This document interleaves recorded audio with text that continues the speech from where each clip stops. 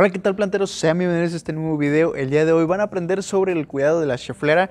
En este caso es una de las especies eh, comerciales que se pueden encontrar de las chefleras. Es una especie grande que podemos encontrar fácilmente en algún vivero que estemos por ahí, por nuestras casas y todo. Es una especie económica y de un porte muy muy bonito. En este video vas a aprender los cuidados y condiciones que le tienes que dar. Vas a aprender a sacar adelante una de estas plantas y tener plantas de este, de este porte, de esta estatura y de una manera muy bonita para que tú la puedas disfrutar y tener en tu casa de una manera hermosa, que dé una armonía a tu hogar y pues bueno. Así que vamos al video.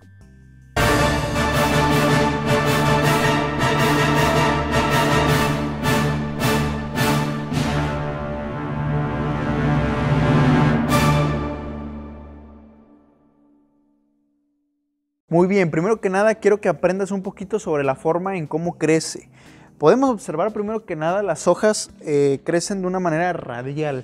Sí, es como, es una hoja compuesta que tiene este peciolo de aquí y está compuesto por varios peciolos más. Ahorita van a ver más de cerca las hojas y pues crecen de, esta manera, ¿no? Tenemos tres hojas grandes, dos hojas pequeñas a, los, la parte de arriba y por los costados hojas medianas. Es una manera muy interesante de observar esta planta.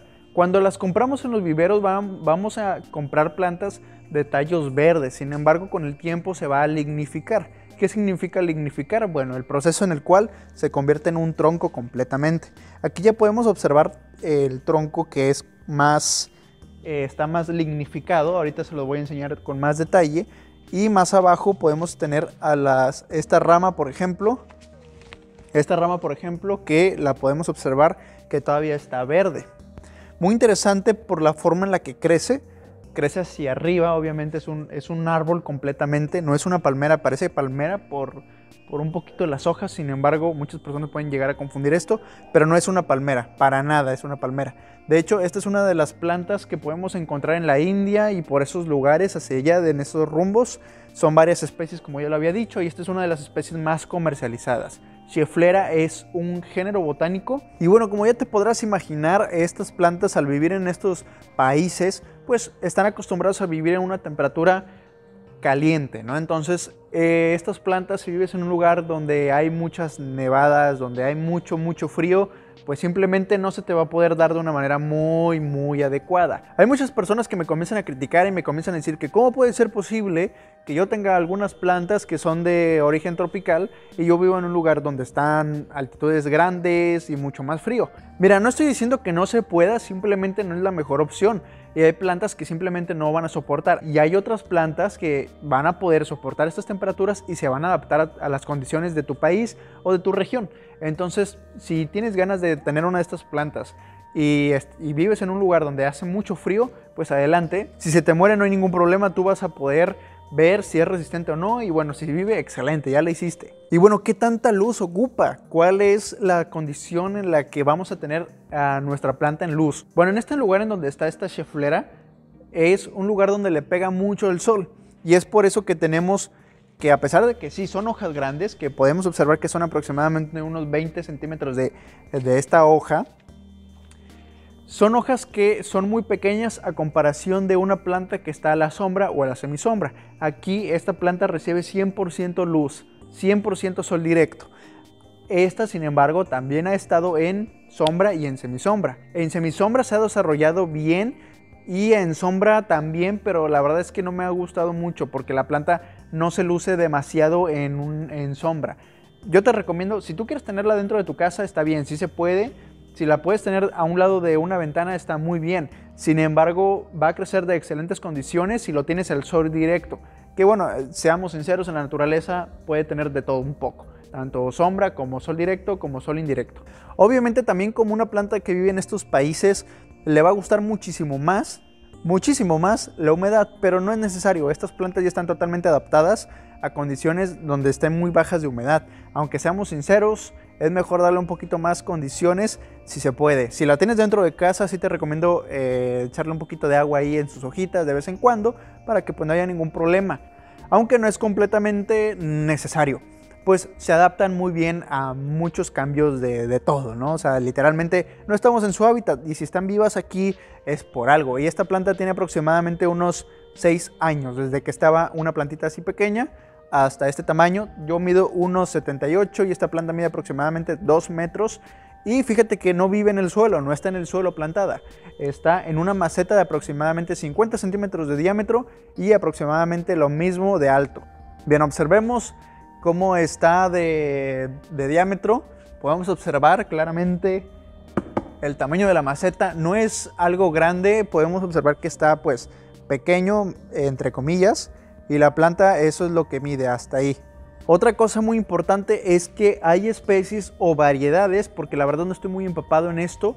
Claro, obviamente es muy distinto eh, una especie a una variedad. Una variedad es, por ejemplo, esta de color amarillo, por ejemplo, que es una variegada. Sí, es, una planta que presenta pérdida de clorofila en ciertas partes de la planta, que de hecho sí podemos encontrar chifleras variegadas. Sin embargo, no sé si hay varias especies Sé que hay varias especies comerciales, sin embargo no sé bien qué especie sea esta. Y recuerden por favor ver los comerciales hasta los 20 segundos para que me ayuden a mí económicamente y poder seguir haciendo estos videos con una calidad muy bonita. Otra de las cosas muy importantes es su reproducción. Si nosotros queremos eh, tener otra, yo sin ningún problema puedo partirla a la mitad y va a tener raíz. De hecho aquí ya cuenta con raíces. Podemos observar que aquí cuenta con una raíz, ahorita se lo voy a enseñar más a detalle, y aquí también.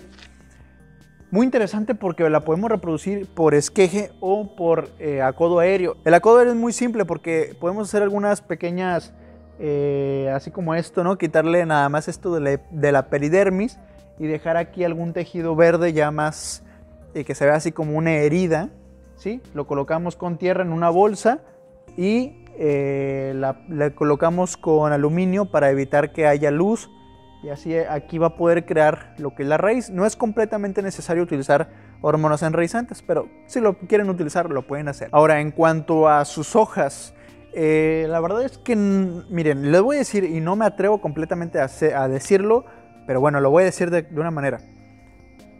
En cierto punto, estas plantas son de hojas perennes, es decir, hojas eh, que no se van a caer muy fácilmente. No es como un árbol caduco. El árbol caduco llega, por ejemplo, por ejemplo un durazno, ¿no? La hoja puede durar aproximadamente un mes. Eh, yo estoy diciendo algo así más o menos, ¿no?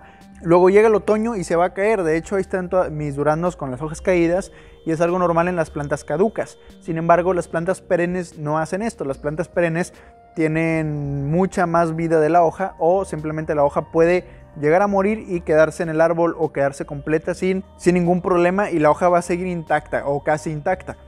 No es completamente perenne porque no es una planta que se mueva fácil ni tampoco una planta que sus hojas el día de hoy están y el día de mañana no o que siga una estación del año. Esta planta no es eh, caducifolia, eh, más bien es como perenne.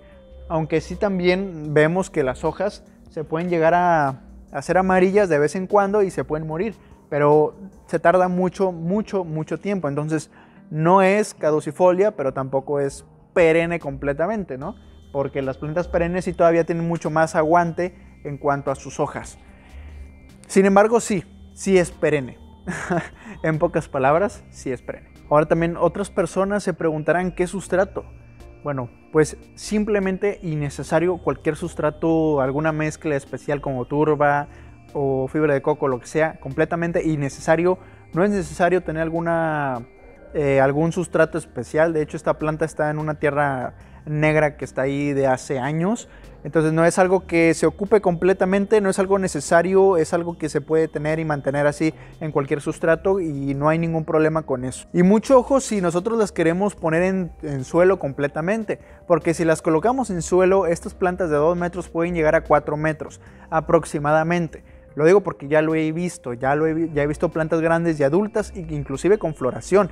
Por cierto, la floración no es para nada algo fuera de lo común, solamente es un ramo, un racimo que muy apenas se ve, de color rojizo, verdoso, y pues no está muy bonito que digamos, entonces no esperemos una bonita floración, algo así fuera de lo común y que con una fragancia deliciosa, no olvídense de eso, simplemente es una planta ornamental que va a quedar muy bonita en nuestro hogar. Ahora sí, un poquito de plagas. ¿Cuáles van a ser las plagas? Bueno, la verdad es que yo no he visto ninguna plaga aquí, solamente el pulgón y el pulgón llega nada más aquí en los brotes.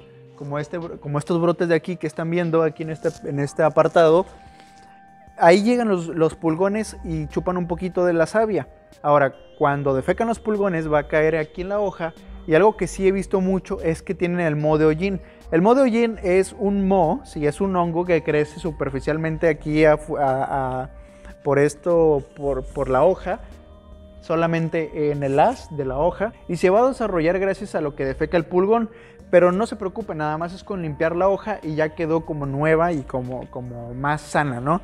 Por cierto, el modo de hollín es necesario que lo eliminen y lo quiten porque eso va a evitar que haga la fotosíntesis esta planta y lentamente va a ir muriendo. Recordemos que la fotosíntesis es un proceso bioquímico en el cual una planta obtiene energía que va a ser su alimento. Entonces muy importante tener nuestras plantas con una luz y evitar lo que es el modo hollín para que esta planta pueda crecer de una manera excelente. Y pues bueno, la tenemos aquí, este es uno de los ejemplos más padres de la cheflera que he podido tener, también he tenido variegadas y bueno, les digo, es una planta muy bonita, si la piensan tener en un lugar donde haya mm, luz moderada o más o menos, pues yo sí se la recomiendo, es una planta muy padre, muy bonita y en una maceta perfecta, miren, hasta puede estar, puede estar años en una maceta pequeña como la que han visto, aproximadamente 6 a 8 años que he estado en esa maceta y como si nada. Y bueno, ya con esto me despido, yo soy Plantman, espero les haya gustado este video, suscríbanse y nos vemos hasta pronto. Adiós.